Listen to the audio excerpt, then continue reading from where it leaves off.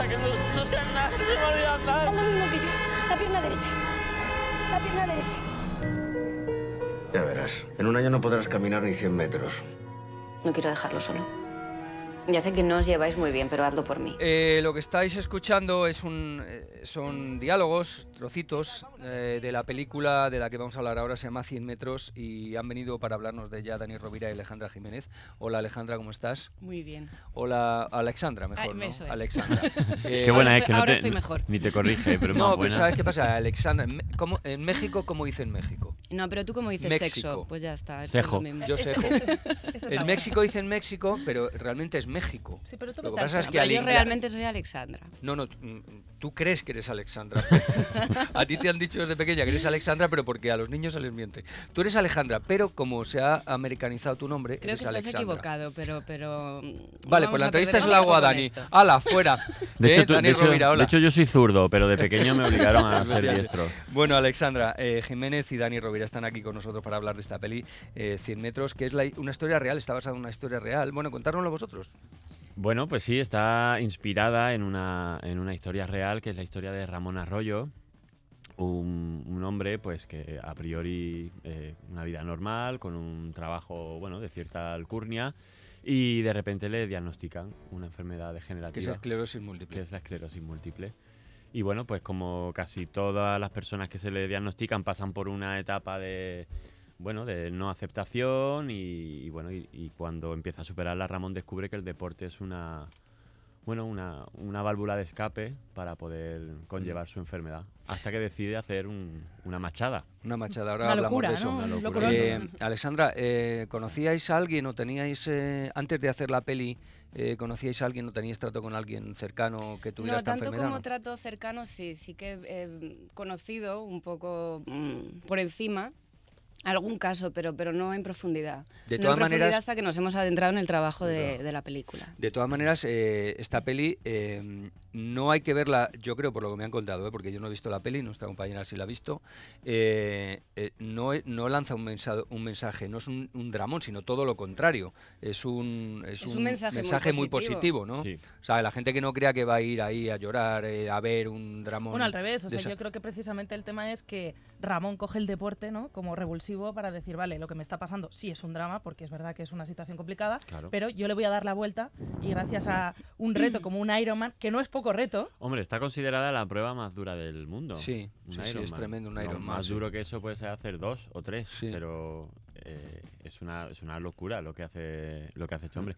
Y sí, a ver, no relata las luces y las sombras, no esconde en ningún momento la película la, realidad, la realidad y, lo, y lo duro que es tener una enfermedad así, por supuestísimo. Lo que pasa es que, bueno, este hombre da el ejemplo de decir, ya no es que hagas un Iron Man, ya es el ejemplo de decir que nadie diga lo que puedo y no puedo hacer. Eso lo tienes que decir tú, ¿no? Y es, es la lección que nos da Ramón en esta película. Vamos a escuchar al propio Ramón Arroyo en una conferencia hablando de eso. A mí hubo un momento que, que me sacaron la tarjeta amarilla, ¿no? Hasta entonces era un poco, bueno, bastante capullo y no disfrutaba de la vida a tope. Me sacaron la tarjeta amarilla y a pesar de eso, pues tampoco hice mucho caso hasta que hubo un momento que ya me decidí a, disfrutar de la vida. Eh, yo solo os pido que no esperéis a que os saque el árbitro la tarjeta amarilla. Hay veces que sacan la directa, ¿verdad? Y, te quedas con cara de gilipollas. Entonces, bueno, yo tengo una enfermedad crónica degenerativa incurable que, suena fatal y vengo a deciros que, que vosotros también la tenéis. Se llama vivir. O sea, lamento deciros que todos os vais a morir. Poco a poco, cada día estamos más viejos. Él dice, crónica, degenerativa e incurable. ¡Boom! Miedo total. Tú decías, he sentido el miedo y la incertidumbre de la esclerosis haciendo esta peli. O sea, tú has sido capaz de decir, ostras, esto, esto da miedo. Sí, sí, con esta peli he vivido, y bueno, supongo que también Alessandra y muchos de los compañeros que hemos estado hemos llegado a estar tan metidos en la historia que en ciertas secuencias pues llegas a sentir cosas que sabes que no, que no te pertenecen, ¿no? O no deberían pertenecerte a ti como actor, pues porque de repente has descubierto que te has metido tanto, tanto en la piel del personaje que llegas a sentir, pues eso, el miedo, la incertidumbre, llegas a sentir cosas que, que, te dan hasta como miedo, ¿no? pero porque creo que nos hemos implicado tanto en el proyecto y el hecho de haber podido conocer y que ellos nos hayan ayudado a Ramón y en caso de Alessandra, su mujer, a Inma. ¿Y cómo, cómo fue esa relación eh, con ella? ¿Qué te contaba? Porque eh, eh, Ramón es el que lo sufre realmente, pero la persona que está a su lado también tiene, claro, que afrontar la vida de otra manera, ¿no? ¿Qué te contó a ti? ¿Qué has intentado reflejar?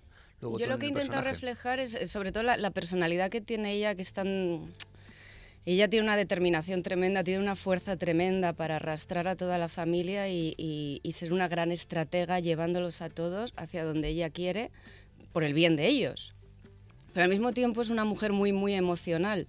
Entonces, esta, dualidad es, muy curiosa porque, por un lado, tiene esa capacidad de estrategia, ¿no? de, planear y de, imprimir fuerza y paciencia para llegar hasta donde quiere, y por otro lado, es una mujer que, tal y como siente, se expresa. Y cuando hablaba con vosotros, ¿no sentía como una especie de invasión de su intimidad? Claro, porque no sé, al fin y al cabo, es una realidad y de repente llegan aquí unos a que le cuentes... Bueno, pero también es la forma, ¿no?, de a toda esa gente que se encuentra en una situación parecida, que de pronto, porque estamos hablando de esclerosis, pero podemos hablar de muchas otras situaciones, ¿no?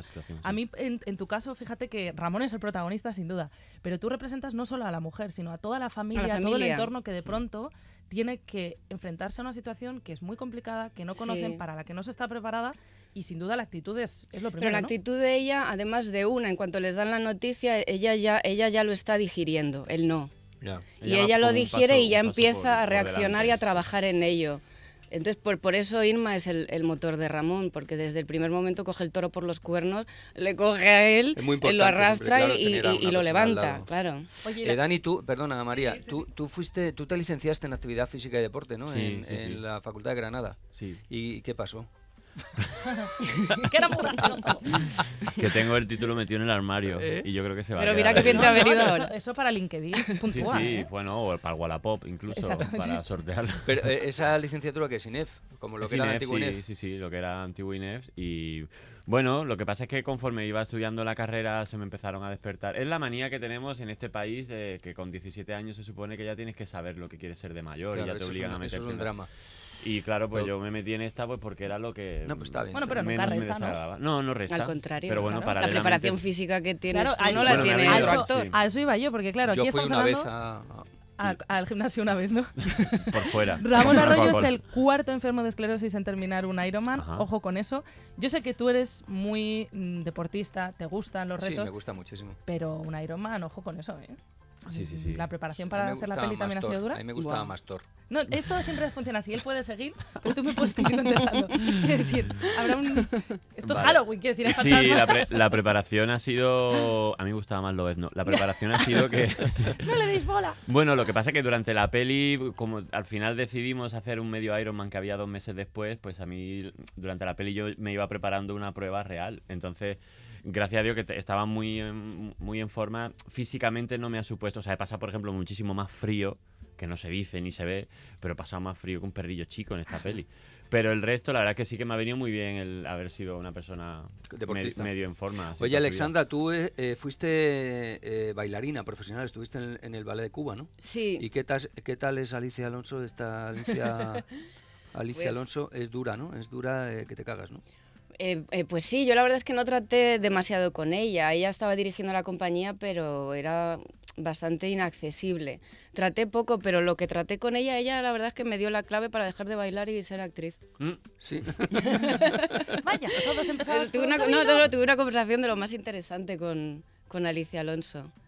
sí, Y me, me sirvió mucho porque además me dijo, vete, haz lo que tienes que hacer y en caso de que te arrepientas, vuelve porque aquí te estamos esperando con la puerta abierta. Fue muy bonita. ¿Y te has arrepentido en, algún, en alguna ocasión de dejar el ballet? No, no, no. no. Es duro. y sé que tanto ella como María de Ávila, que fue mi maestra aquí en España, las dos sabían que yo tenía que dejarlo y, ser actriz.